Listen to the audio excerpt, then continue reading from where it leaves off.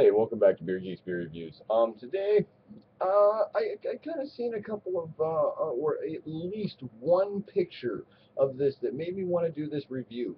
Number one, this is coming from my um, all-time favorite brewery. Um, and, and everybody that knows me loves knows that I love Samuel Adams. Now, I, I think that they are a safe brewery to go to to get a beer or many of different styles and flavors of beers that are very safe. They, they, they don't go uh, way out there, so you're spending your money on something that you don't enjoy, per se. Um, or they are ones that you know that you can spend your money faithfully on that can deliver you a decent and very good beer. And by that, I mean this is for a dear friend of mine on Facebook that had this tonight. Sandy Mills, this one's for you, man. I'm telling you what. Bam. Samuel Adams Harvest Pumpkin Ale. I know the light's kind of bright and may have to be like shade that. Look at that. Harvest Pumpkin Ale. This is the 2013 version of the Harvest Pumpkin Ale. And let's see if we cannot um, do this one right. Um, I did not look up any information on this. I, I tried to do this very well. Ooh, look at that smoke. Whoa, there it goes. Wow. I've never had a Sam Adams do that one for for me. Um, that that was amazing. I don't know if you can see that in there. I doubt it, but man, there is a very, very big streaming carbonation bubbles. Um, I'm going to get a lot of head off of this one. Wow. Very, very nice. Wow, I can smell it already. Let's see what we can do. See if we can pour this all in here. Still got a little bit left. I know I'm going to get all of it in there. There we go. Look at that.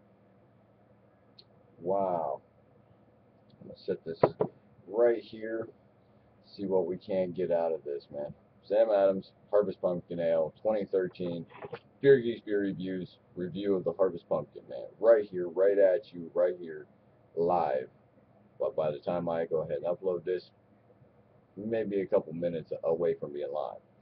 Um, right there, almost a finger, finger and a half worth of head. The very, very rocky head. Um, big soap bubble head. This is, look at that, very dark very, very dark copper color. Now, if I bring it back here to the light, it is very red. Um, this is very carbonated. I don't know. I don't think the camera's going to play nice for me tonight. I don't think you're going to be able to see inside the glass. Um, the head's even an off color. Um, it's almost got like a um, an eggshell color. Um, very carbonated. I love that. I tend to love these glasses because they've got the edge bottom down here, and it's the, the nucleus site down here creates a lot of that uh, carbonation, which which adds a lot when it comes to the um, aroma. It, it keeps the head flowing and it keeps the carbonation, you know, coming up from the bottom. And I'm telling you what, man, this is just so lovely. Um, it, it makes me want October and November to hurry the hell up. Um, I, am very anxious for Halloween and I'm very anxious for Thanksgiving. Um, two of the biggest holidays for me, Halloween, I mean, come on. I, I, love to scare the shit out of people. Who doesn't? I mean, it, it's fun to dress up, you know, be somebody else for the day. And Thanksgiving, man. Give thanks for your family and, for your friends and for you know everything that you have received throughout the year thus far. Um, with that said, let's get into the beer. Um, like I said, very dark copper color. I mean, if you look it into the light, I mean, it's very reddish.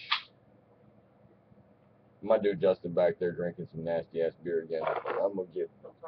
Yeah, I'm talking shit, dude. Um, here we go. Uh, like I said, very copperish color, very reddish hues. Um, head settled down now. We're getting about a finger's worth of head. Uh, now it's turned creamy. I've stirred it up a bit, you know, getting a little bit more of a head on it. Very, very big spice notes. Um, I don't know per se if they brew this with allspice, but you're getting uh, ginger, nutmeg, cinnamon, allspice, clove, especially. You can smell all that right off the rip, right from the top, and I'm telling you what, it smells like a pumpkin lover's dream. But I know a few beers that go over the top that love to sit there and be like, bam, here I am. But with Sam Adams, I, I, I tend to say they are a brewery that um, gives you more of the middle of the road. Um, they don't tend to do them over the top um, because of the fact that there's a lot of people out there that just don't like over the top beers. But, you know, I'm already over my limit, so let me go ahead and get into this.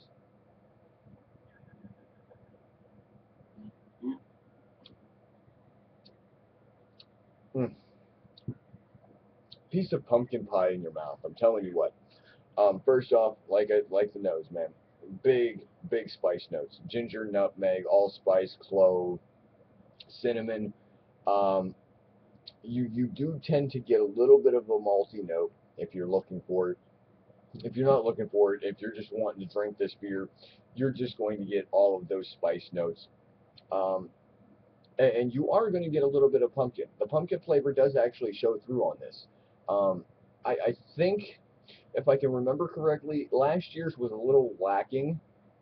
They picked it up a little bit for this year's. Um, I'm actually really happy with this year's. Um, I, I believe it was called the uh, Harvest Collection Pack. Um, I'm very pleased with this year's edition. Um, this one here, excuse me, um, it, it, shows through very well. The pumpkin's there, the, the, the cinnamon, the nutmeg, the clove, they all, you know, kind of like an allspice flavor. I mean, there's a little peppery note in there. Um,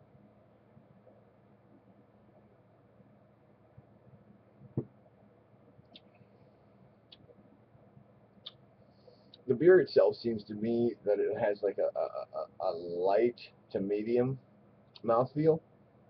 Um, I, I don't see a lot of people drinking a lot of these, um, at least more than one of these or two glasses.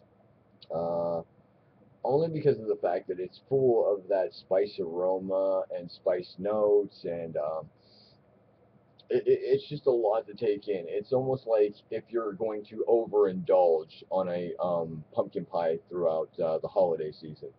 Um, with that said, I, I, will sit there and say um, I, I really enjoyed this year's version. So if you haven't had it, please go out there, seek out, you know, even if you can go to a store, you know, your craft store sits there and sells um, craft beer in singles, please do try it. You know, pick this bottle up, revisit it, visit it for the first time.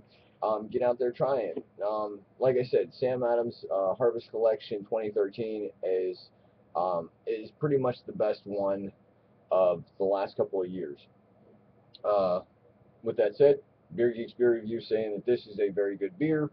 Um, it's there. There's a few things that they could do better with it, but let's see what. Uh, being that this is the Harvest Pumpkin Ale, I want to see what the Fat Jack can do this year. Fat Jack is their double pumpkin ale. This is their single Harvest Pumpkin Ale. I caught a vulture Oh Jesus Christ! Oh God. anyway, um, here we go, man. I'm telling you what. Uh, good beer. Get out there, try it. If you had it, let me know what you think. I don't know what's going on behind me. Oh, uh, that that was that was something else. Anyway, Beer Geeks Beer Review signing out. Pros, cheers. Don't drink and drive. If you need help, seek assistance. Call a taxi. Call your friends. Call your family. Call whoever. You know, the bum lady down the street. Maybe she can walk you home. I I don't know. But that he's got me all messed up now. Um, I'm gonna get up out of here, man. Peace, deuce. You know, much love. Beer Geek Beer Review signing out. Brew Tubers, one up. Love y'all. Rate, comment, and subscribe. Peace.